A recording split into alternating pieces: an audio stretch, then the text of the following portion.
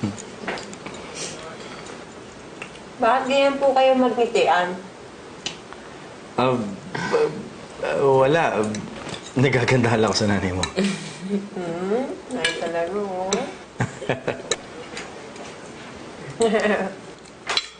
Pilit. Hi, guys! May dala akong sushi. Super sarap. Hi, Tita Dati. Hi. And I know you love sushi, kaya nagdala ako. Super must try. Mukha nga masarap, ha? Masarap talaga to, Hernan. Alam mo namang wala akong pangit na taste. Mm. This is their best seller. Oh, sorry. Ikaw na mag-serve. Sige.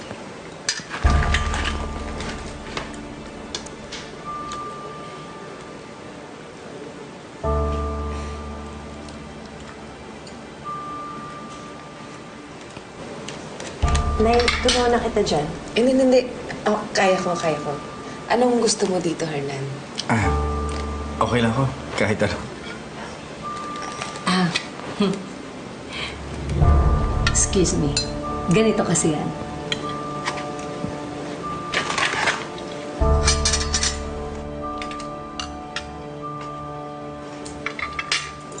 Hernan, ano gusto mo dito? This one? Mm. Hmm. Ready? Baka mabitawan ko.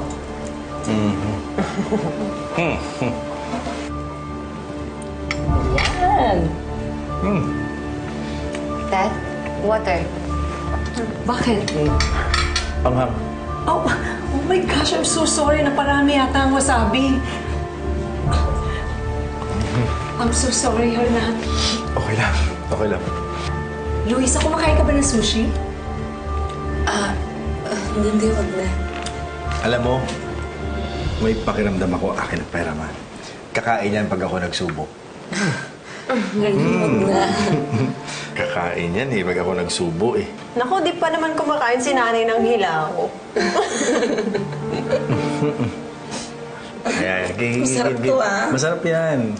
I- Oh, Mm. Mm. Sarap ba, Nay? Sarap ba? Hindi ko alam kung masarap o hindi.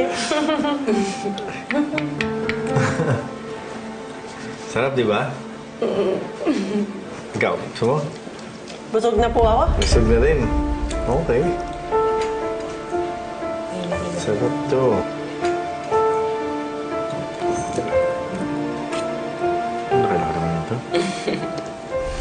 Ilabas nyo to kasi ito yung gagamitin mamaya. Tapos yung mga silver, yun ang itago ninyo, ha? Sige po, ma'am. Oo, sige. Magpahinga na kayo. Ako nang bahala dito. Sige po. Nay? O anak, ano, aalis ka na ba? Mag-iingat ka, ha? Mamaya, ipapakita ko sa'yo yung design ng gown na mapipili ko. Tutulungan ako ni Daphne kaya siya nagpunta dito. Ah, Nay, tanong lang ho. Close ko ba talaga si Tito Hernan at si Ma'am Daphne? Siguro. Matagal na silang magkaibigan eh. Ah, yung... Yung sinusubukan ng sushi, ganon? Ganon sila ka-close? Okay lang ba sa inyo yun, Nay? Anak, wala naman sa akin yon. Eh, tinuruan nga niya akong gumamit ng chopsticks eh.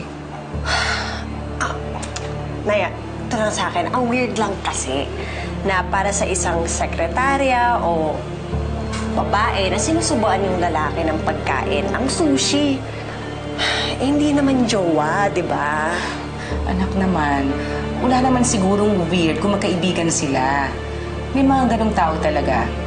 Eh baka magkapatid na ang turingan nila.